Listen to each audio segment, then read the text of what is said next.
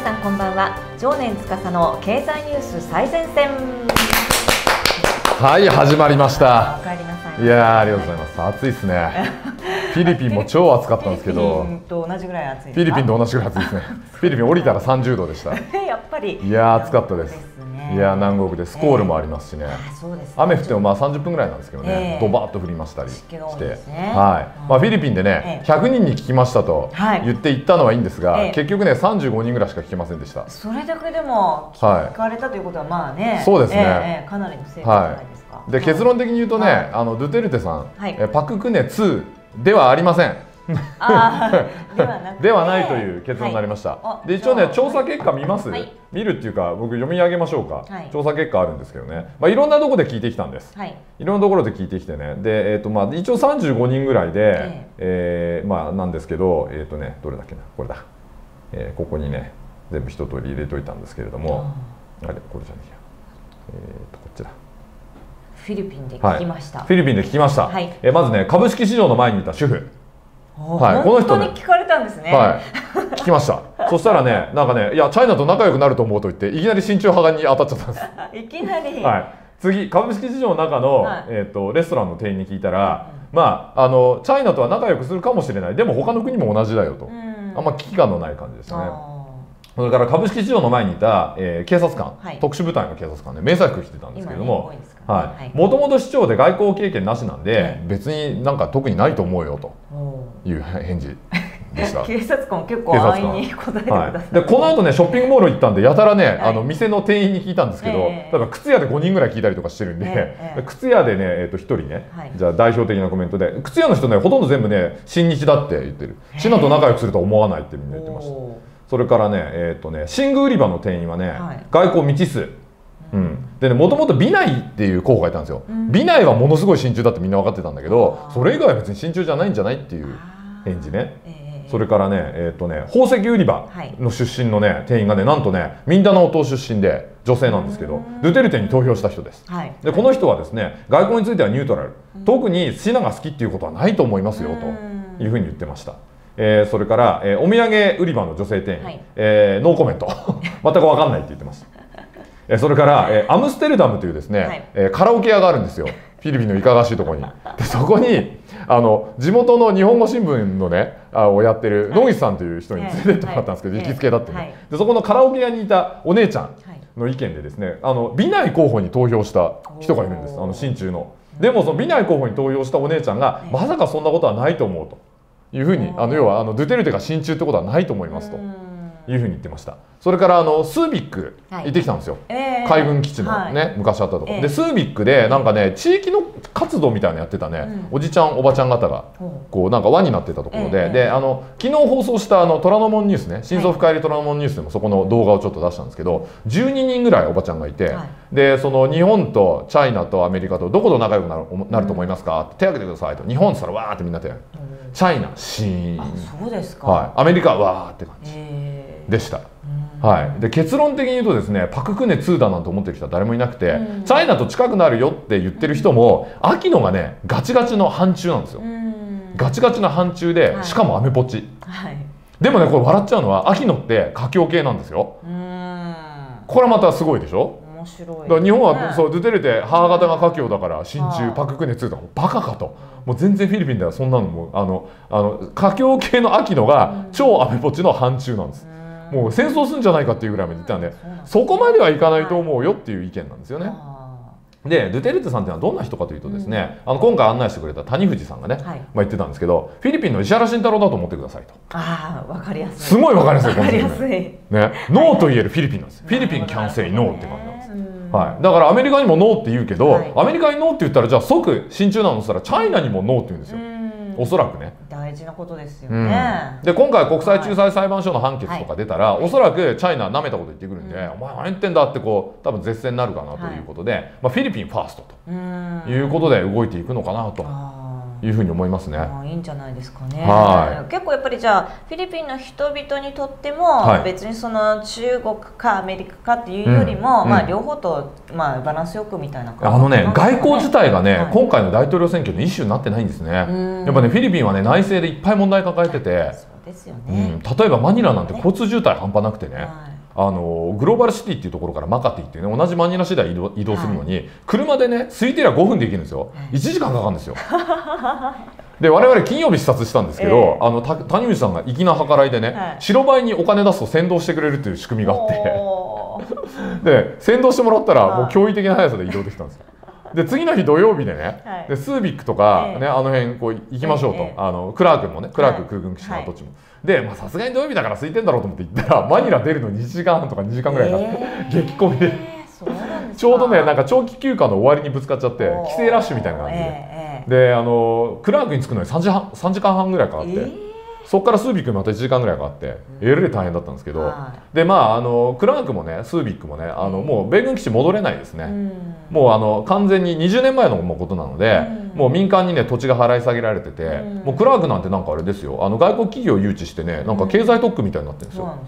はい、であの普通の国内便の飛行場になってるし、うん。スービックにだってもう住宅街になってましたからね、うんはい、海辺の公園みたいになってましたか？ら港も、あそこには戻れないので、おそらくパラワン島の方にね、はい。あの紛争地に近い方にまあいろいろ作るんじゃないかなとうん。いうふうに言われてるんですが、うん。まあ、そんな感じでですね、まあ、弾丸ツアーだったんですけどいろいろ収穫が多かったなということで、ねまあ、動画の方はですね、まあ、はいチャンネルクラの特典動画かなんかでそのうち出そうかなと。楽しみです、ね。いっぱい撮ってきたんでね、はいやろうかなと思ってますので、うんはい、ちょっと編集めんどくさいんで誰かにやってもらってとい。うことで考えております。はい。でねフィリピンファーストといえばね、はい。まあ、ちょっと先にこっちから行きましょうか。ね。ブリテンファーストとか言ってね、殺人事件を起こしてしまったことが。ここまでねなるかっていねう、、もう本当ジョー・コックス議員のね、あに対してねあの心から哀悼の意を表したいと思います。本当にご愁傷様でございます、うん。はい、ひどいですね。言論を暴力で弾圧するなんて共産党みたいですねまるで。恐ろしいですね本当にねそういうやっぱり思想信条からそういう行為に至ったんですですかね。まあでも、えーなんだっけ？国杉ななんて言ったんでしたっけ、はい。あブリテンファースト。あブリテンブリテンファーストって言って、はい。まあ殺害したっていそうです。銃で撃った後にね刺したらしいですからねナイフでね。これはすごい殺意ですよね。ね、ひどいですよね。えで今あの離脱派残留派ともにですね、まあ、活動停止ということなんですがこれね離脱派が残留派を惨殺したということでですねこれはちょっと投票にも大きな影響を与えるかもそうですね。しれないですね。でこれに関連してですね、はい。あのまあいろいろとまあ世論調査がね、はい。事前に出てるんですけど、えまああの世論調査どこまで当てになるかっていう問題なんですよ。で前回イギリス総選挙の時に、はい。もう保守党は過半数維持できないって話だったのに、はい。単独過半数取っちゃったじゃないですか。え結構イギリス人って調査の時本当のこと言わねえんじゃねえかみたいなのがあって、そうですよね。はい、これ実は昨日高橋先生が言ってたんですよ、ええたまたまあのはいニュース女子の収録で一緒だったんでええ。聞いたら「いやもうねイギリス人は本音言わないしね」ひねくれてるからねみたいな。ええ、だから事前の調査では前回の総選挙もねスコットランド独立とかもっといくだろうって言われてたんですが、ね、思いのほか伸びず、なんと保守党が単独過半数だったんですよ。すごい意外な結果だったんで、まあ、今回こんな事件も起こったんでどうかなと。こういう事件起こっても意外な結果出ちゃうかもしれないんで、うん。イギリス人どうなるかちょっとわからないですね。確かにイギリス人のなんかあの心情って日本人とちょっと違うようなねそうなんですよ。反応を示す時が多いですよね。そうなんです。ええ。でまあこれに関連してですね、ええ。まああのイングランド銀行ですね、BOE とそれからまあよ、えー欧州中央銀行 ECB がですね、もう不測の事態に備えて、あの金融緩和をなんとなし崩し的に始めたという情報が入っています。それから、えー日米欧のですね中央銀行、まあ、カナダなんかも含めて集まって、まあ、あのブレグジットに伴うですね、まあ、ドル不足ですよね、これを解消するために FRB からあのはい。各国中央銀行が定理でですねドル資金を調達できるという制度を発動するそうです、はい。近々。でこれね2011年にも発動されてるんですよ、え。でその時にねあのまだ白川時代だったんですが確かに円相場反転したんですねでその後まあ本格的に円安になるのはあの黒田バズーカ、まあ、アベノミクス黒田バズーカ以降なんですけれどもあの底打ちっていう点ではですね実はこの、えーブレグジットの、まあ、このタイミングでやろうとしている、まあ、アメリカのですねドル不足解消プランですね。これ意外と効いたので、まあ、まあこれ以上下げるかどうかはまあ為替相場なら何とも言えないですけどね。まあないよりはマシみたいなものになるかなと。いうふうには思ってるんですけれども、まあ、これどうなるかね、おかげでね昨日はね1ドル103円台まで円高突っ込みまして、ね。どうなるかとうん。思ったんですが救世主が現れましたね。は救世主が。日本の守り神ならぬね、日本の守り逆神、日本の、ま、守り逆神といえばですねバラ様ですよ、いはいね、さ榊原英介様というですね、もう守り逆神がですね、はい。昨日10時に竹中平蔵さんとですね BS 日テレに出演しましておー。1ドル100円割れ確実って言ったんですよ。言った瞬間に円相場は奇跡的にこの 反転するというですね神業を昨日は目の当たりにしてですね、えもうますますこれはもう宗教を信じていかなきゃいかんなと。うん。思いましたね。毎朝ゴンギを2万回欠かさずにね バラ様バラ様バラ様バラ様ってねやろうかなと思っちゃいましたね。はい。まあ昨日まあそういうことでブレグジット今すごいリスクになってると。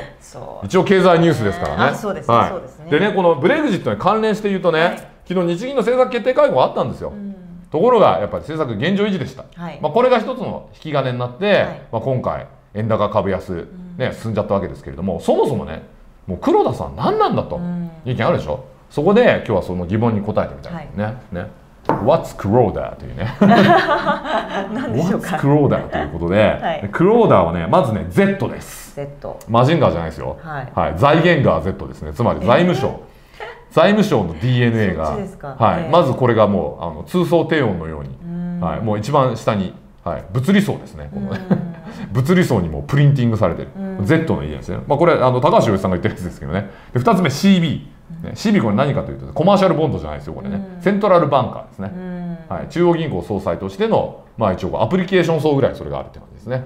そして一番上、ね、これはもうバグみたいなもんです。アマノジャク。He is an アマノジャク。天の尺アマノジャクなんです、はいはい。ということはみんなに期待するとやらない。うん。期待しないといきなりやるとうんいうことで、まあ、今回やっぱ市場の期待相当高かったんではい。外してきましたね、うん。はい、ただマイナス金利の効果を見るといってももうね1月に導入して6月でしょ、まあ、半年ぐらい経ってるんでもうそろそろいいんじゃない？あんま効果なかったってことでと、いうことでいいかなと。あの、まあ、デフレ脱却という点では、ええ。あんまり効果あんのかどうか微妙ですよね、はい。ただまあ金利を下げるとうん。いうことでは成功ですよ。あの国債金利は見事に20年債までマイナスになったということで財政再建終わりましたんで黒田さんのおかげでなのでまあそういう意味ではね天の弱いつまでやってんだと、うん。ね、Z いい加減にしろと。そろそろ本業2番が本業ですから CB、CB ね、大悟じゃないですよ、ね、CB、ね、CBGJ みたいな。ね。いうことじゃないんですけど、はい。そろそろちょっと CB が出てこないとまずいんじゃないかなというふうに思ってるんですよね。うん。まあただね今日はねあの昨日だいぶ下げたので、はい。だいぶ反発してですね。まあ、うん。昨日の夜10時からね守り神がね追加の AT フィールド展開してくれましたんで。いや日本国すごいですね。そういうことでね。になんか人間を救う人もいるんだとか思いましたね、え。すごいですよ、えーもうその前のだから攻撃がねもう最終使徒ゼルエルのような、もうビーム一発で核兵器34枚吹っ飛ぶみたいなもうちょっとでセントラルドグマに達してサードインパクトが起こるんじゃないかと思ってたところなんといきなり謎の使徒、ね、バラ、ね、バラバラバラバラ。バラ様。バラ様。バラエルが、はい、榊バラエルが現ね。れて、はい、強烈な AT フィールドをはあ。展開してくれましてですね、はい、この攻撃を、ねもう逆に中和するともうエヴァンゲリオンじゃねえかこいつみたいな AT フィールド中和してるみたいなね、まあ、感じでやってくれたんで助かったかなというふうにあの思います、はい。まあ、こんな感じですね。ちょっと市場は荒れてますけれども、うん。まあ、来週の23日このブレグジットの最終結果出るんですよ、はい。でそこでどうなるかですよね、まあ、ただね結果を受けて相場が動くというよりももうあのええなんか結果を織り込んで先に相場が動いちゃう感じですね。うん、ちょっと動揺してますよねどうどっかんどっかんいってますもんね、えでだってこの1か月ぐらいで2000円ぐらい株価動いてるでしょ？そうね。もう日本の実力そんなコロコロ変わるのかみたいな話ですよね、やっぱりさ予測して、ええ。っていうことも23日以降にもそんなにじゃあ大きくは、うん、まあ言うんですよね、まあ、バイザールーマーセールセールザファクトみたいなね、まあ、ことを言うんですけれども本当にそうかどうかね、まあ、こればっかりは何とも言えないですが、まあ、ただ中央銀行もかなり備えているのでひょっとしたら日銀もねあのあんまり市場がぐちゃぐちゃになるようだったら緊急決定会合の可能性もありますね。うんそうするとこれはかなりあのノージャクな なんでなんで英語風なんだみたいな。となんでなんで天の弱って普通に言わへんのみたいな感じですけどアマノージャクな感じの、うん、セベロアマノージャクスですねこれね。多分ねフィリピン帰り。えーフィリピン帰りなんで、はい。そんな感じえでえ複数形で言ってみたんですけど、まあ、そういうことになるかなと。ええいう可能性はありますね、それから麻生財務大臣がもう今度こそ許さねえとか今日言ったらしいんです。口先介入を、ええそしたら1ドル104円台後半まで一時的に行ったらしいので、まあ、為替介入はやらないと思いますけどね、まああるとしたら日銀が外債を買うオペレーション、うん。でもそれってあれですよね。FRB からドル資金調達っていうのと何が違うんだみたいな、まあ、話もあるのでどうするんでしょうね。まあその辺はですね、まあ、怒ってみないとわからないんですが、うん。対策はしているぞというメッセージを、えー当局は出してですねリーマンショックのようなことはないというふうには言ってるので、うん。まあそれがどこまで本気かですよね、まあでもこういうね大きなイベントがあると過剰に反応して、はいはい。でまあ過剰にこう相場が持ち直すなんてこともあるので、まあ、それを期待してね株を買うのは自由ですけど、うん。まあ、全額損しても私は何の責任も取りませんので、えー投資は自己責任でお願いできればというふうに思っております。そね。そして最後にですね、はい。まあ、そろそろ夏休みなんでね、ええ夏のちょっと観光ガイドということで、まあこういうところにね 行ってみるといいんじゃないかな。と。いやーいいですよね。えね、これ、尖閣、ね、南の島、えはいね、常夏の尖閣、はいそしてね、最後の秘境、口永良部島、はいね、そして北大東島、いいとこですね。漏れなくチャイナの軍艦がついてくるというですね。軍艦を見るツアーみたいな。ね、もう軍艦、軍艦ハワイじゃなくて、軍艦、軍艦、北大東島みたいなね。やりましたよね。軍艦、軍艦、沈没みたいなね。軍艦、軍艦、ハプーン沈没みたいな、そういうの、どうですかね。ああいうの多かったですね、子供の時ね。沈没、沈没、ハワイとかね。はいそれなんて遊びでしたっけ？えーっとね、軍なん、艦？なん、なんて言うんでしょうねはい、じゃんけんぽいってやつね。はいはいはい。ねハワイ沈没軍艦ですよ。はいはいまあ、チョキが朝鮮の場合もあるらしいんですけどね。はそうなのあったんですえか。なんかあったらしいですけどね。まあ、とりあえずでも、まあ、軍艦、軍艦、チャイナ、チャイナ、沈没。最近ははいね、チャイナ、チャイナ、軍艦、軍艦、軍艦、沈没みたいな。はい。ハワイの代わりにね。ハワイの代わりにやると面白いかなと思うんですけど、はいはいこれどうなんですか？これはねあの実はあのこの後国防ニュースはい。始まりまして、はい。あの先週からお送りしてやってますね国防ニュース。今回はあの海上自衛隊の,、はい。あの元将官をすごい。タイムリーですね。そうなんです。でもびっちりですね、はい。あの教えていただいてますおのーなるでほど。ご覧いただければと思うんですけそうれどもですね。触りだけ言うとどうなんですか？触りだけ言うとですねあのー接続水域に来ることと、はい。まあ、領海に来ることっていうのは結構意味合いが違うんですけれども、あ先週お話した通りいずれにしてもあの通ることはできるんですね。無害通行権はあるよと。ね。はい。はい。で領海の無害通行といってもですね、はい。途中で止まったりとか、はあのうろうろはい。航路を変えたりとかするはいそれはもうその瞬間で無害通行じゃないああ、測量始めたりとか。そうですそれはもうとんでもな。いですね。あ はいはいーということになはい、って、ハプーンポチッとな。みたいな軍艦、軍艦、沈没、ボーンみたいな感じですかね。なので、はそれをしない限り、はい。日本としては強い態度に出ると、はい。これは逆に国際法上ね、はというだからそう国際法挑発に乗ってしまうことになるわけですね。はい、なるほどね。いうあの態度を見せつつ、はまあ様子を伺うっていうだから向こうもその日本の反応を見てるっていなるほどね。うことだと思うんですよね。だから本当我慢比べみたいななるほどね。感じになってますただ通ってるだだけだったらいいんですね。そうなんですよ。だからスピード落としたりとかしたらもうアウトそうなんですよ、はい。だから私も絶対中国はそれやるだろうなって思ってましたね、ええ。これ無害通行だぜみたいなあ感じで。ー。日本も行ってるわけじゃないねですか、じゃあ。彼らが言ってる、ね海面の島にねなんですけど。高校の自由作戦一緒にやりましょう。は 中国は自分たちであの無害通行を認めない法律を作っちゃっているのいでそんな法律国際法上何の効力もないですね。だからそれはいけ手ないんだよっていうことを教えるっていうのが今国際社会の務めになってるんですよね。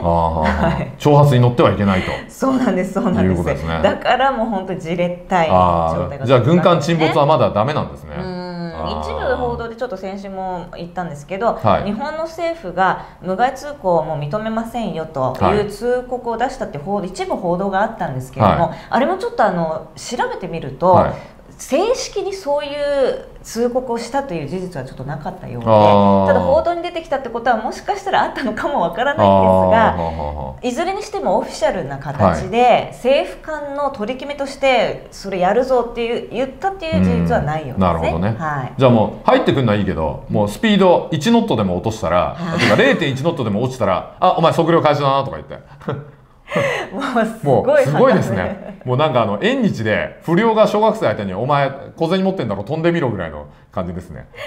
ねじゃらじゃら。じゃらじゃら飛んだら「天安門!」とか言って「ひえー!」っつって逃げるみたいなま。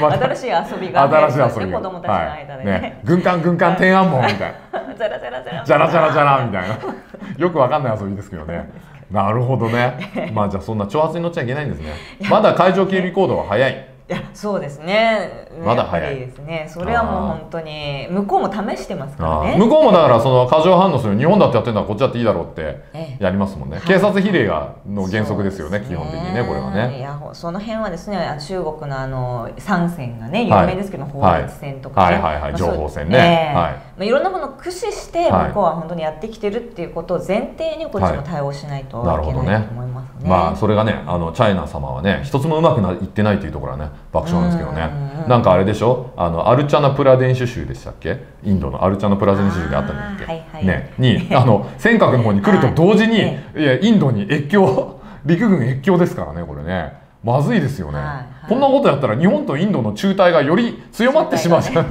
強まってしまうじゃないですか。バカなんですか習近平。アホですねやるなら日本だけ攻撃するとかするべきなのにうんフィリピンは仲裁裁判所文句つけるわ。インドは不法侵入するわ、ええええ。日本にも軍艦送ってくるし。そうなんなん敵作りの名人なんですか？法律戦っていうのが全く整合性がないものうんを戦略にしちゃってる、であーそのフィリピンと争っててもなんか全然理の通らないことを言ってるわけですからそうなん全く国際社会に敵を作ってる感じなんですよね。